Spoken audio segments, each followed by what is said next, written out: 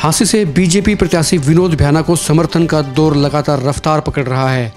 खरड़ चुंगी पर नगर परिषद चेयरमैन प्रतिनिधि विनोद सैनी, रिंकू सैनी व कई अन्य पार्षदों ने एक जनसभा का आयोजन कर विनोद भ्याना को लड्डुओं से तोला।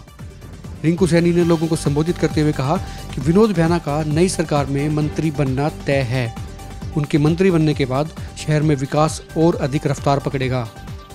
इस दौरान बीजेपी नेता नवीन ठाकुर ने मंच का संचालन करते हुए कहा कि विनोद भैना की जीत के साथ ही हांसी की सरकार में सीधी तौर पर हिस्सेदारी हो सकेगी। जनसभा को राजपाल यादव, बीजेपी मंडल प्रधान प्रवीण बंसल व कई अन्य नेताओं ने भी संबोधित किया।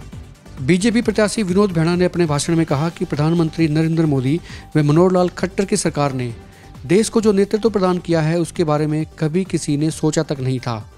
भ्याना ने कहा कि अगर हांसी के लोग सरकार में सीधी तौर पर हिस्सेदारी चाहते हैं तो उन्हें रिकॉर्ड तोड़ जीत के मार्जिन के साथ विधानसभा में भेजें, ताकि वे पूरी ताकत से हांसी हल्के का विकास करवा सकें। इसके अलावा हांसी में अन्य जगहों पर भी भ्याना के जलपान कार्यक्रमों की इन दिनों होड़ लगी हुई है। विभिन्न पार्षद अपने अपने वार्डों में उनकी जनसभा करवा रहे हैं और समर्थन का भरोसा दे रहे हैं।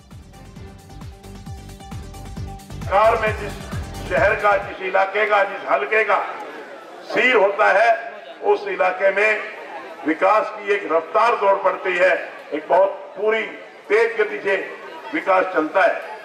तो इसमें कोई दो राय नहीं, आज बच्चा बच्चा स्वीकार कर रहा है कि आने वाली सरकार भाजपा की सरकार है। अगर हम चाहते हैं कि हमारे इलाके में विकास और ज़्यादा तेज गति पकड़े तो निश्चित रूप से हमें भारतीय जनता पार्टी के कैंडिडेट को जिताना होगा। और भारतीय जनता पार्टी का कैंडिडेट आपके अपने बीच का कैंडिडेट है। आपका जाना पहचाना है। आपने जांचा है, आपने परखा है। आपसे कोई दूर नहीं। दिन रात आपके बीच में रहने वाला कैंडिडेट है। जिस तरह से मैं कह रहा था 2009 से 2014 तक हमने आपके इस इलाके की सेवा की। अब भारतीय जनता पार्टी ने आपके बीच में एक मौका दिया है। इसलिए मेरा आपसे निवेदन है कि 21 तारीख को सुबह उठकर नहा धोकर भगवान का नाम लेकर के पोलिंग बूथ पर जाना और वहाँ कमल के फूल के निशान का बटन दबाकर अपने इस बेटे को, अपने इस भाई को चुनाव में जिताना और निश्चित तौर से हरियाणा प्रदेश में, पूरे हरियाणा प्रदेश में कमल खिलेगा और इस प्रदेश की बागडोर एक बार फिर श्री मनोहर लाल खट्टर जी के हाथ में होगी और हमारे हांसी का अभूतपूर्व विकास होगा। यही बात आपके कहने, आपके बीच में कहने आया था।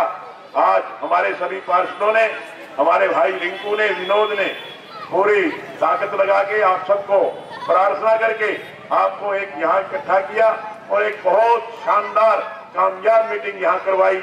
इसके लिए मैं इनका बहुत बहुत धन्यवाद करता हूँ।